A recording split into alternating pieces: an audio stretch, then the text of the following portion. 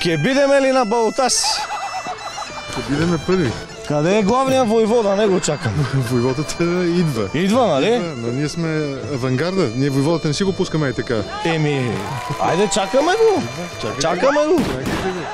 Чакай. Не, не, не с пищова, не го чакайте с пищова. Бутафора. С вас ли е войводата Каракачанов? Щом са ви пуснали вас по трасето, значи отиваме на балотаж. Значи сме дигнали. Ке бидете на Балташ, така ли? Да, да, сигурно. Ако не отидат на Балташ, скункс. Че аз вада пистолет. Македонио, Македонио, Хората я знаят. пуста да е, тая граница. Ви задете истинския. Как сте, как върви кампанията? Много добре. Влез вътре, ще видиш залата пълна, предполагам. Добре. Устремили сте се пак към най-високия пост държавата, президентския. Този път обаче ви сочат за един от фаворитите. Усещате ли се Така така? ли сочат?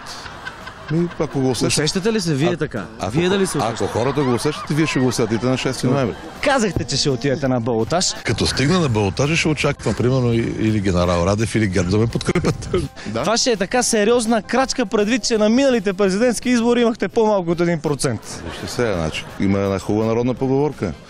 Последните стават първи. Това беше преди 5 години. Да, ама понеже са сте и в коалиция, така леко странна коалиция, не? Говорите си Предвид, че доскоро не се понасяхте с Волен Сидеров. комплексарщината, мисля, че сме наясно. Тя науката е доказала какъв ръст създава комплексарщината и какъв не. За разлика от господин Сидоров, той каза, че а, с вързани очи виждал какво става.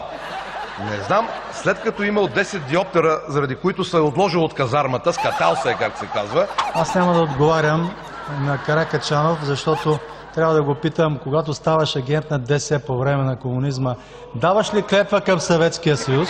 Волен Сидеров и Валери Симеонов 7 години не си бяха говорили, вие ги сдобрихте, щяха да стигнат до бой. Валери Симеонов е олигарх, крадец. Сидоров е свършил политик. Всичко се забравя в името на, в името на това да успеем на изборите, нали? Не. В името на това да влезем във властта. Не, не, това вече е спекулация.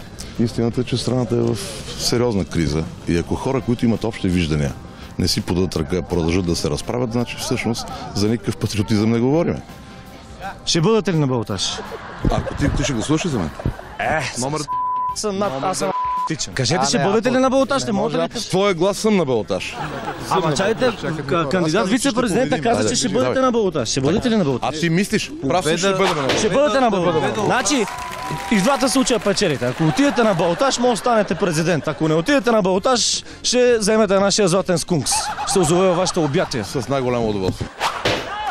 И така, за господари на ефира с войводата, кандидат президента Красимир Каракачанов. За господари на ефира, това съм аз, Балканджи Бобо.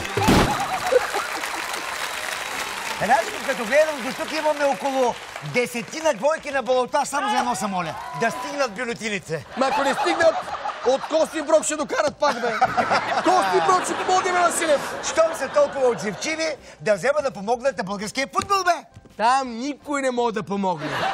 Там е, положението е майка плаче, балдът за се смее ли беше? И спортен свят.